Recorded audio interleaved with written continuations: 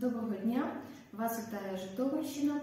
І хочу сьогодні презентувати наш такий підсум- підсумковий звіт е, щодо освітньої діяльності комунального закладу позашкільної освіти обласний еколого-туристичний центр Житомирської обласної ради у 2022 році.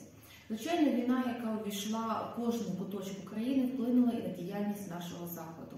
І перед нами поставили ряд викликів: це воєнний стан та його вплив на організацію діяльності закладу, це зміни в плані роботи центру та у проведенні масових заходів, це зміни у забезпеченні гурткової роботи педагогічними кадрами, оскільки е, протягом березня-квітня виїхало за кордон 26% педагогічних працівників, і один педагог у нас звільнився, один педагог долучився до лав Збройних сил України і надалі продовжує служити.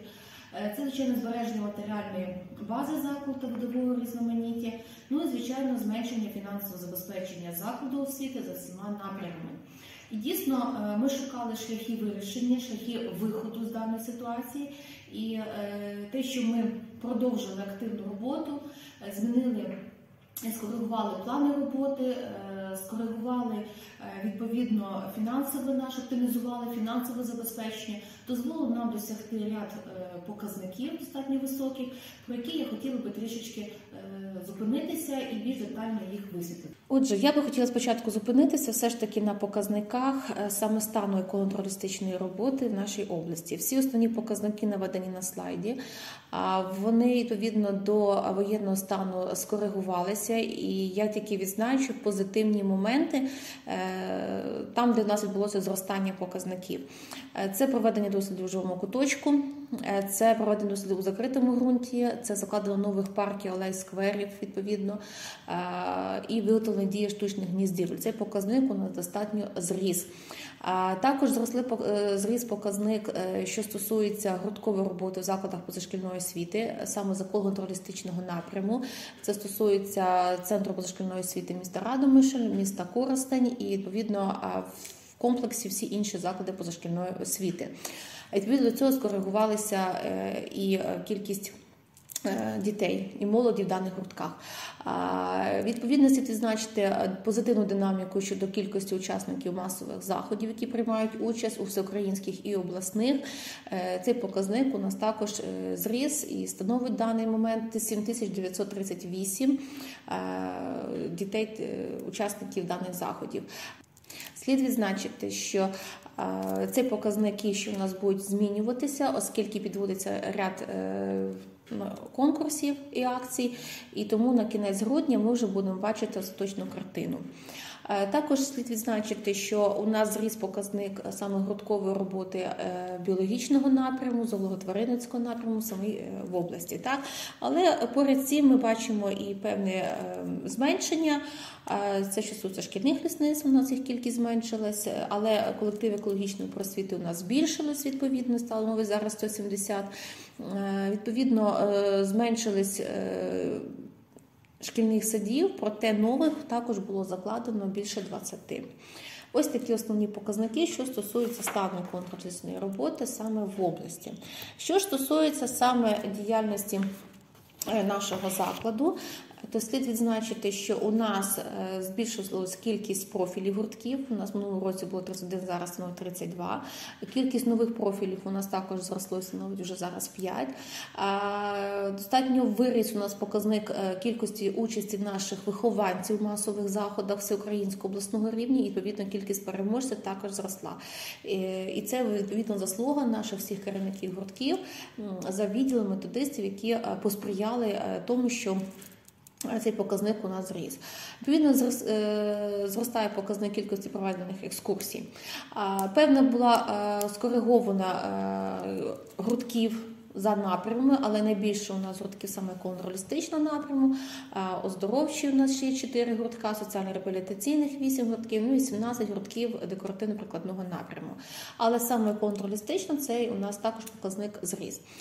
Зростає у нас е, дослідницька діяльність е, трішечки, кількість е, залучених вихованців до заходів національно-патріотичного виховання зросла, кількість екскурсій зросло, кількість заходів національно-патріотичного виховання цей показник зріс до 50%. І, звичайно, кількість нових обласних заходів він також, е, також зріс до 17%. Проте слід відзначити, що ті конкурси, які ми започатковували протягом 18-го Починаючи з 2018 року, е, ці всі конкурси стають щорічними, і е, близько 90% започаткованих нових конкурсів стали в нас все ж таки щорічними. Що стосується дослідницької діяльності, я хочу і відзначити, що наш вихованець на всеукраїнському конкурсі захисті МАН Малої академії наук зайняв друге місце в секції валеологія і свою роботу також презентував на міжнародній виставці винаходів та дизайну в Тайвані і здобув золоту медаль. Тому це також наше є досягнення. Слід відзначити, що е, що в нас було нового. Це ми започаткували літню екологічну школу Еколендлаб, яка активно пройшла, відбувалася протягом трьох тижнів. От е, далі впроваджується проект обласний екохаб, е, хоча ми планували щоквартально, проте даний воєнний стан трішечки змістив наші ці плани, і ми далі їх будемо активно впроваджувати, але вже трішечки змінимо форматі. Продовжуються у нас обласні онлайн-челенджі та квести. Продовжуємо випускати електронний журнал «Екосвіт Житомирщини», готується зараз вже наступний номер. І започаткували віртуальний інтерактивний музей «Екобіосистем». Звичайно, багато проводимо методичних заходів з всеукраїнською участю. Це за рахунок того, що ми співпрацюємо достатньо активно з національним контролістичним центром учнівської молоді, дякуючи Володимиру Валентиновичу Чорбиський, який нас підтримує в цьому. Інститут проблем виховання Національної академії педнаук, і ми так спільно з ними проводили такі методичні заходи, достатньо успішні на високому рівні. Слід відзначити, що були започатковані ряд нових конкурсів та акцій. Вони наведені на слайді, я зупинятися не буду, але такий у нас був. Доробок, що а, під час обласного конкурсу мальовнича Житомирщина діти представляли куточки своєї рідної місцевості. З цих фотографій ми зробили карту Житомирщини. От тому такі в нас презентована вона була.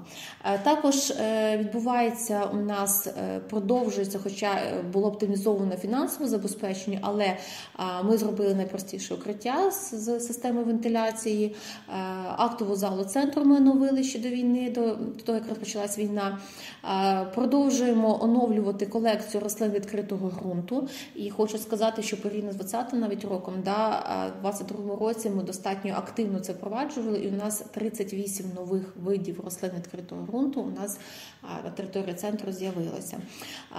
Також оновили кабінет спорту та здоров'я, закуплено обладнання для дослідження стану довкілля, тому активно впроваджуємо далі дослідницько наш напрям. На е, наших досягненнях ми не зупиняємось, ми далі продовжуємо робити. Багато було сплановано на наступний 2023 рік. Е, слід зазначити, що е, всі весь план роботи побудований на реалізації стратегії розвитку закладу і враховуючи сучасні тенденції саме розвитку, як і туристичного напряму, так і відповідно національно і зупиняючись в окремому національно-патріотичному вихованні. Слід відмітити, що ми Активно наші вихованці педагоги долучаються до волонтерської роботи і е, хочемо подякувати як Збройним силам України за те, що в нас є можливість працювати під мирним небом. Е, дякую всім за увагу. До побачення.